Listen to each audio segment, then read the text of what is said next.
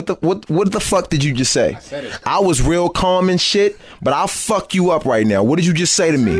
What you, what the fuck you gotta say to me, man? He thinks he's Moesha when he's home alone.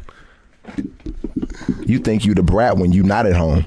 You you ate out JD. You ate out Missy, no challenge. You fucked all the members from Jagged Edge before the Where the Party At single. You fucked 98 degrees while Britney Spears watched, no challenge. You let finger you. You let Jimmy Fallon do you. You let Tavis Smiley suck your gooch. You let Tyler Perry cash you in his next movie. You braided AJ from 106 and Park's hair. You faded Lil Zane's. No challenge. No motherfucking challenge.